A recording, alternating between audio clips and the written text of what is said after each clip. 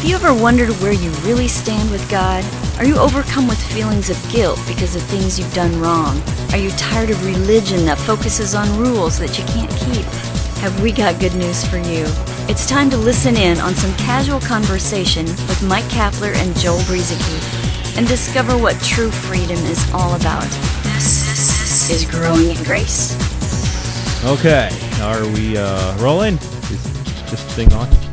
Yes, we are here. It's growing in grace.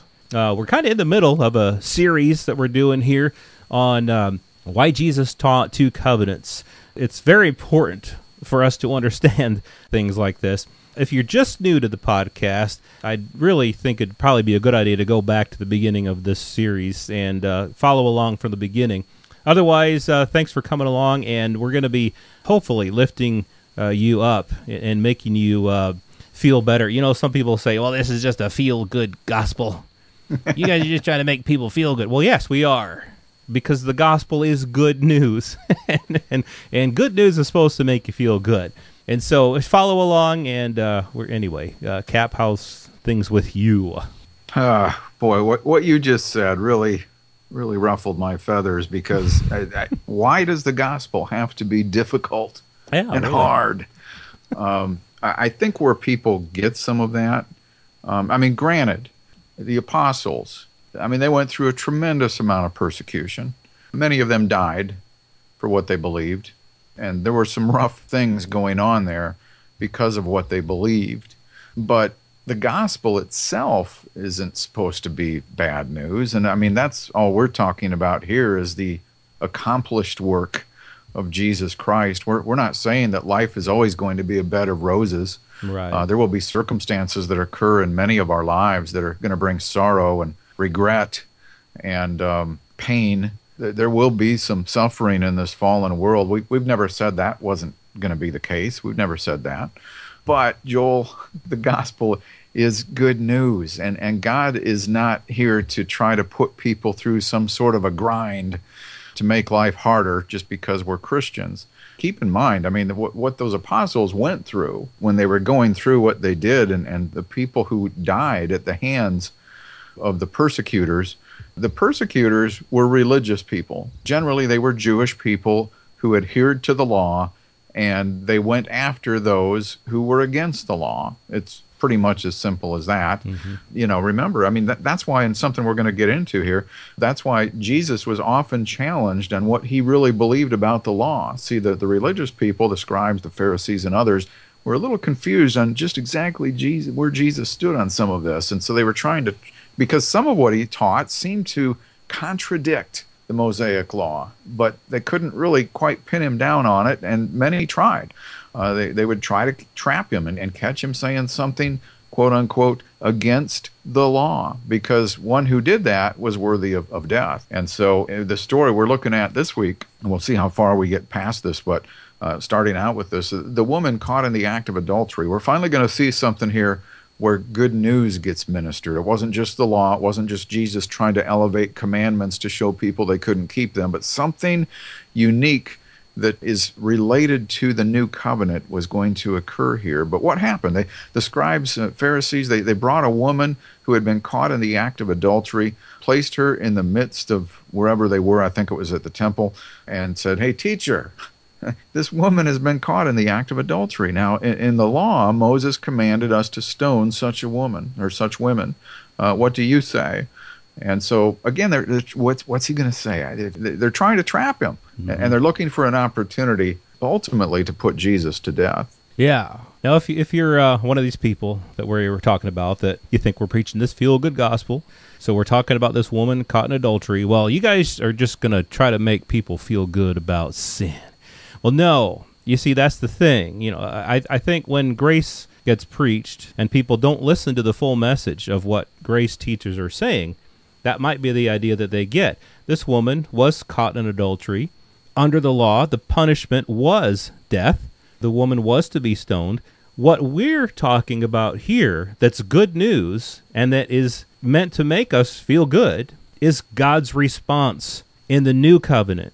God's response through Christ to this woman caught in adultery.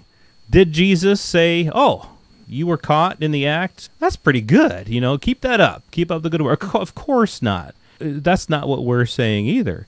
But here's what happened. Now Moses in the law commanded that such should be stoned. But what do you say? These are what the Pharisees and the scribes said to Jesus. And like you were saying, Cap, they were testing him. They were trying to get him say to say something uh, against the law or against their own rules that they had come up with or, or whatever. They were testing him. Jesus, he had stooped down, wrote something on the ground with his finger. You might say he was ignoring them, but um, of course he was listening. He, he knew what was going on. And he here's what he said to them. Now remember, the response under the law this woman should be stoned, she should be put to death. Here's what Jesus said after he had raised himself up. He said to them, He who is without sin among you, let him throw a stone at her first. that's that's all that he had to say to them. That's the only thing he said to them. Now remember their response. They came dragging this woman. They were going to stone her. They all these things. The law, the law, the law says this. You need to do this to her. She needs to die. What do you say? All that Jesus said is whoever's without sin among you, you can throw the first stone. Go ahead. And that was it. That's all he said to them. And then what happened? The people who heard what Jesus said, they realized that the same law that they were using to convict that woman also convicted them because it says those who heard it being convicted by their conscience went out one by one, beginning with the oldest, even to the last. What a masterful answer that was. Uh, he said nothing against the law, but nobody had the right to throw a stone based on what Jesus said. Nobody had that right. According to the law, they may have had that right, Joel. You know, some people think that because Jesus said that, you know, he was somehow trying to show them that the law was wrong or something like that. But no, by that standard of the law, they could have started hurling their rocks. But when Jesus threw that challenge out there, the stones got dropped. No, they, there's the thing. Yeah, I mean, just real quick, they had every right to do that. He he was not stopping them. He didn't he didn't tell them don't throw stones. He said, throw a stone at her if you're without you know. So anyway, he like you were saying, he didn't say that the law was bad. He was giving them every opportunity to follow the law. Right, and and so they walked out, dropping their stones. The oldest going first because they had more sins probably and so that's the way it worked out so then it's just jesus and her who condemns you now no one lord she recognized him for who he was lord and realized she just received a miracle and what happened here really is a taste of the forthcoming new covenant mm-hmm. where she was not condemned she was shown mercy and given grace to go. This go and sin no more. You know, Jesus wasn't saying, I know we've talked about this before, but sometimes take a look at what Jesus didn't say to her. He didn't say, go and sin no more or else.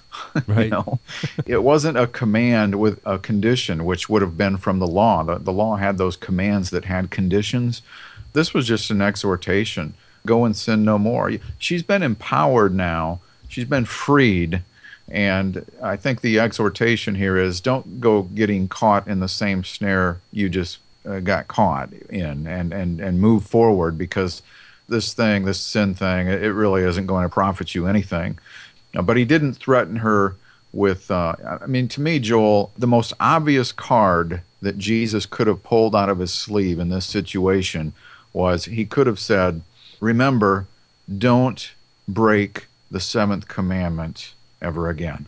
Mm-hmm. He didn't go there. Why? Because we, we if you've listened to this program for any length of time, we, we know elevating the law, the law itself, even though it's holy, righteous, and good, for those who were under it, it brought death, condemnation, and an increase in sin, not a decrease in sin with those commandments, including those written on stone.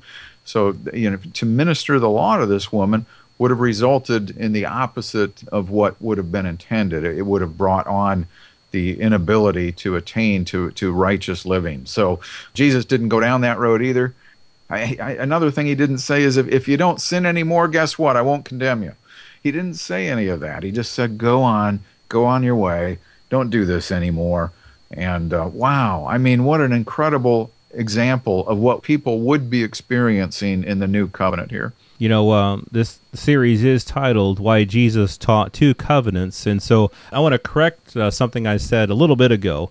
I, I, at least implied that in the new covenant, here's here's what Jesus' response was to the woman. But like you were saying, it was more of a he gave her a taste of what was coming in the new covenant because at this time the new covenant had not begun yet. Jesus hadn't died yet. The testator hadn't died. The new covenant had not come into effect. And so what was happening here is that if you, you know, listen to the past several weeks of this podcast series, we've been talking about various things that Jesus said that were law based to his fellow Jews who were under the law. He was using the law here's here's the here's the awesome thing. He was using the law in many cases to show people that they weren't as righteous as they thought they were, to bring them to the end of themselves. Here in this case, Jesus was confronted with those who were using the law against somebody, and Jesus showed them through their use of the law how unrighteous they were. You see what the law does? you know, people were using the law to condemn others because they wanted the full punishment of the law to be taken out on other people. Jesus used the law to show people you're not as righteous as you think you are. You need something else. You need faith. In this instance, you need salvation that's not earned by what you do. That can only come as a gift. You know, that's what Jesus was showing these people. In this instance, uh, this woman got it t- while these other people were trying to use the law to condemn somebody for the purpose of condemnation. Jesus took what they said and showed the woman that, hey, you don't have to live that way. You can be free. You don't have to do what you've been doing. Uh, it, again, when people hear this story, a lot of times they quote that, go and sin no more, as if that's the, the big point here. Well, he, Jesus could have started off with that go and sin no more, but he didn't. He showed her that she was forgiven he showed her that there's no condemnation, and then he offered her the way out. You don't need yeah. to do this anymore. Yeah, remember the rich young ruler.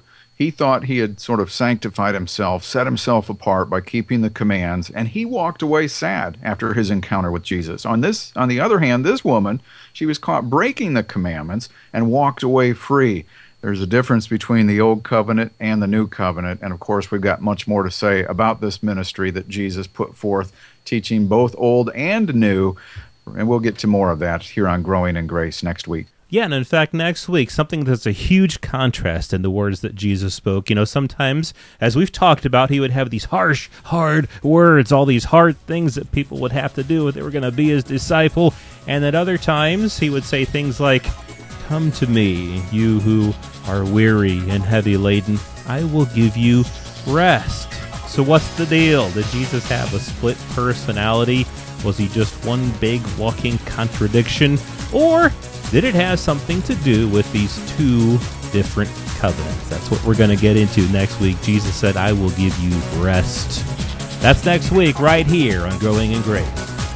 This has been Growing in Grace with Mike Kapler and Joel Brueseke heard online through various internet sources around the world each week. To access hundreds of past programs, visit graceroots.org. Share it with a friend and listen again next week for more Growing in Grace.